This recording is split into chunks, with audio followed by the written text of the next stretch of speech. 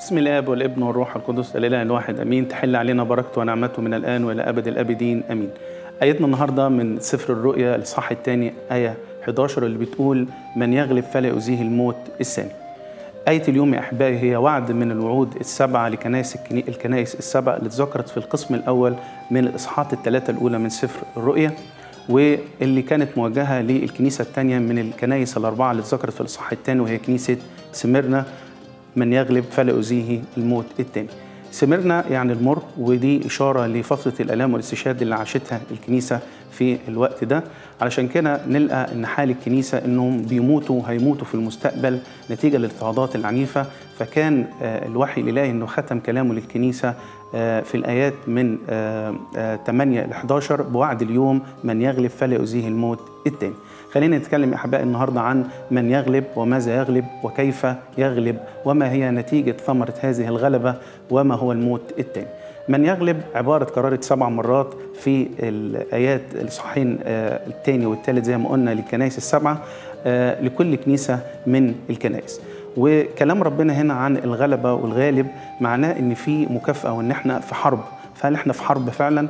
إحنا في حرب حقيقية لكن حرب روحية وليست جسدانية يقول عنها القديس بولس الرسول في رسالته لأهل إفسس اصحاح 6 آية 12 أن مصارعاتنا ليست مع دم ولحم مع الرؤساء مع السلاطين مع أجناد الشر الروحية في السماوات.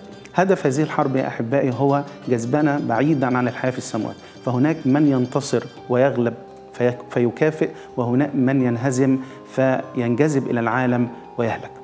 نلاحظ طبعا إن الكلام ده موجه لأسقف ملاك كنيسة سمرنا واللي هو بحسب تقليد كنيستنا هو القديس بولوكاربوس تلميذ القديس يوحنا الرائي الحبيب واللي كانوا بيعذبوه هو شيخ كبير حوالي 86 سنة كان بيسلم نفسه لحياة الاستشهاد لدرجة أنه لما أرادوا أن, إن هم يحرقوه حي دخل إلى النار بدون قيد.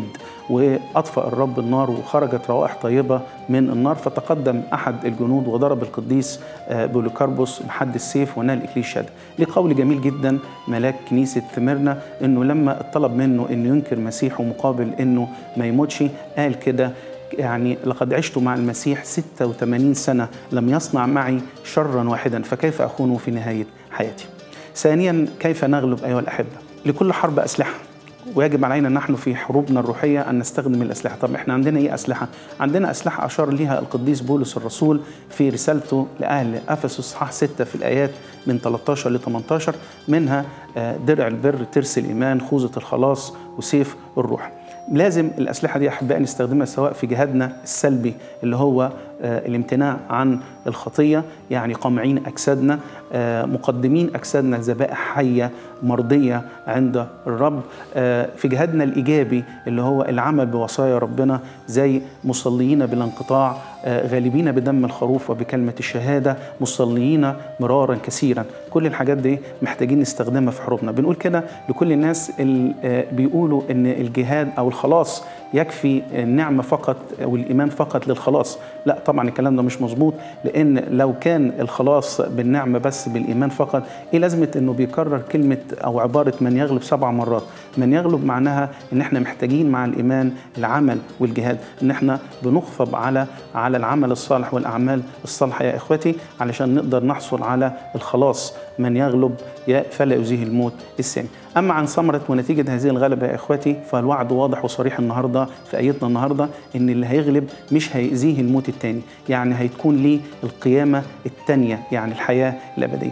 المسيح الحقيقي يا إخواتي لا يخاف الموت ابدا بل بالعكس في كل العصور أثبت إن المسيحي دايما كان بيشتهي الموت على قول القديس بولس الرسول في فيليبي واحد آية 23 لي اشتهاء ان أنطلق وأكون مع المسيح ذاك أفضل جدا المسيح يا اخوتي ليه في الحياة على الأرض رسالة يتممها ومتى أتمها بيذهب إلى مكان الراحة. بصوا كده معايا في أعمال الرسل 12 وإزاي هيرودس الملك إنه قتل القديس يعقوب الكبير ابن زبدي أخو القديس يوحنا الرائي وكان بيفكر يقتل القديس بطرس عشان يرضي اليهود لكن الرب أرسل ملاكه لينقذ بطرس. طب لو سألنا طب أنفسنا ليه ربنا أرسل ملاك لبطرس وما أرسلش ملاك ليعقوب أكيد إن القديس يعقوب أتم عمله أتم رسالته على الأرض لكن القديس بطرس كان عنده لسه من الرسالة ومن الأعمال اللي كان لازم يتممها علشان بعد كده يذهب للراحة.